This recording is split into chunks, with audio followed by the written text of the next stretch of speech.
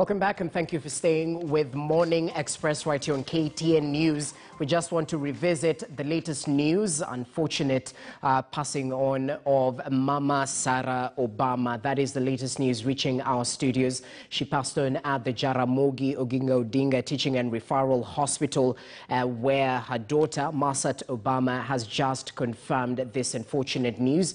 Uh, she passed on while she was 99 years old at the time of her death, and she has been lauded as an educator and philanthropist working closely with the Mama Sarah Obama Foundation, whose mission was actually to improve the education welfare of disenfranchised children across the country. And even as we are trying to dig deeper for more information surrounding her passing on, we just want to rerun a story that hit um, the headlines in 2015 on April 5th, right here on KTN News in anticipation to the arrival of the then President, U, um, US President Barack Obama, who was just set to arrive in the country. So uh, we did source for comments from Mama Sarah Obama, who was quite excited about the visit of her grandson. Let's just listen in to this particular report that aired roughly five years ago, even as we remember the late Mama Sarah Obama.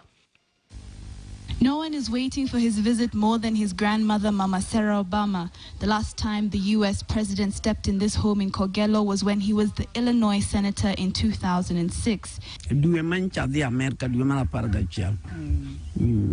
I asked him to come the last time I paid him a visit in America, and he said he would once everything settled down.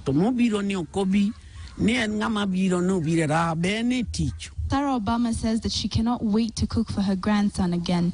However, now that he is the president of the most powerful country in the world, she may have to be cautious with her expectations. He said that he's coming for work and he wants to see people here. Looking at the pictures, Mama Sarah tells of how Obama's children resemble their great aunt, the late Barack Obama Sr.'s sister.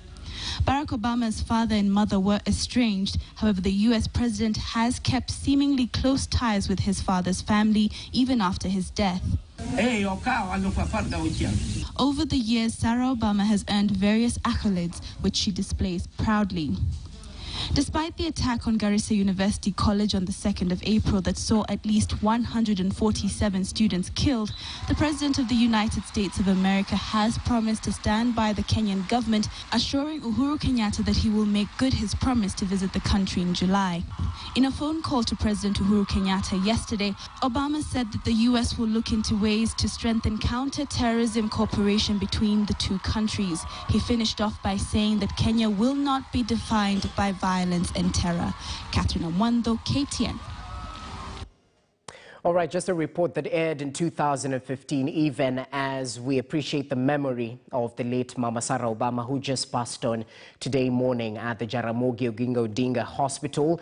Uh, the daughter has confirmed that particular set of unfortunate news. We do pass our condolence to the family of the late Mama Sarah Obama. But back to the discussion we were having, even as we conclude. I was joined by Victor Bwire, who's the Director of Media Training and Development at the Media Council of Kenya, as well as Dr. Michael Ndonye, who's the head of Department Mass Communication at Kabarak University. Gentlemen, as we conclude on this particular conversation, um, perhaps as you give us your take on perhaps the interest uh, around the business model within the media aspect and give us your final remarks on this, we'd appreciate your condolence message uh, to those who have been affected by the passing on of Mama Sarah Obama. I'll start with you, uh, Dr. Ndonye.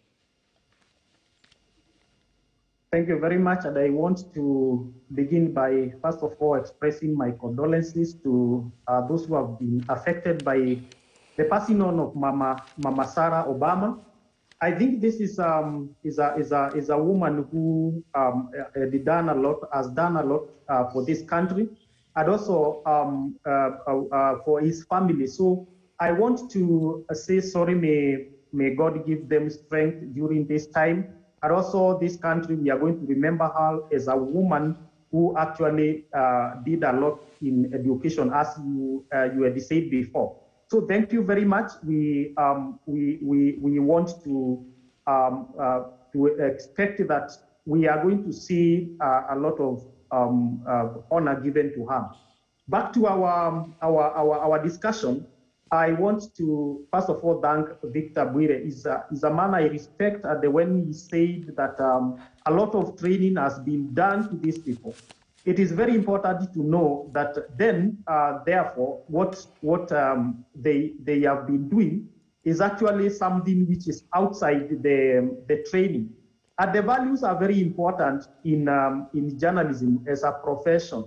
And therefore, uh, just to come back, the reason, one of the reasons, and uh, what Victor Bwire has said, is that um, the media houses are the one who are responsible for this. And I remember most of the, at the beginning of this, I, I flagged something that was very unique and that was very um, uh, unfortunate about that particular show.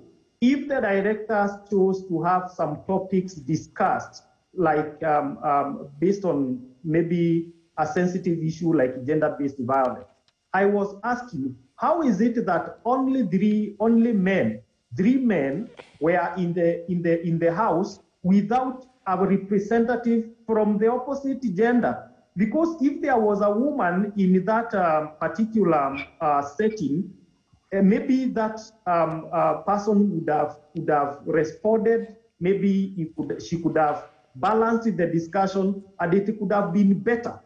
Um, and that is very important uh, for us. But it seems that the interest of, uh, uh, of, of many, many, many media houses is more of business more than the objectivities and the, the, principles and the values which are supposed to be upheld by the journalists.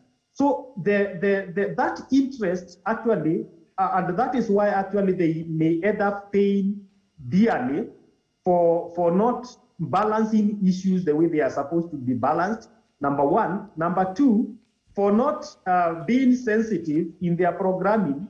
And if these, these, presenters were, were, were actually, in most cases, forced to say some of these things, or they are given scripts and they are supposed to follow them, that is also very unfortunate. And I think um, uh, Mr. Bwire is very, uh, very clear on that. It is very unfortunate that there can be directors there can be producers, there can be management who are forcing, who are actually doing programming, giving topics to some presenters and having them hear them as they are without considering the values and the principles which are, which are supposed to be followed, especially in journalistic um, uh, profession. At the Media Council of Kenya, I know it has been very supportive in training. Actually, that one is, is, is, is very clear. They have been very consistent in their training of journalists all over, whether they are journalists by training or they are journalists by interest. All right. What, what, what should we do then? Okay, okay, Dr. Dr. many thanks for your contribution. I'd just like to pick the mind of uh, Victor Bwire, perhaps on the passing on of Mama Sarah Obama, even as we continue with the discussion. Over to you, Victor Bwire. Thank you. We want uh, to sincerely, on behalf of colleagues, and on behalf of the Media Council where I work, uh, to pass on our condolences to the late Mama Sarah Obama. Uh, this is a difficult time. We want to uh, uh, pray that God gives them comfort this uh, sad moment. Victor Bwire, we seem to have an issue with your connection. Uh, apologies for that, even as we try and re-establish proper connection so we can actually get your comments on the various issues we're discussing.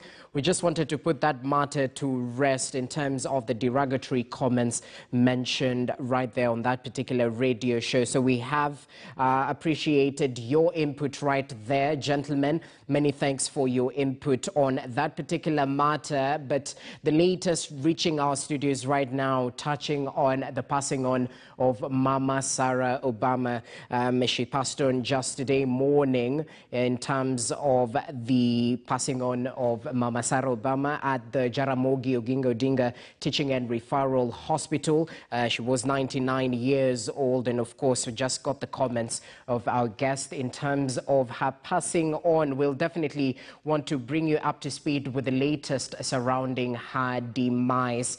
Uh, that is the latest news reaching our studios right now. Mama Sarah Obama is no longer with us. She did pass on at the Jaramogi Oginga Odinga Hospital. Uh, she was 99 years old and she has been hailed as being quite instrumental in the education sector as she was running the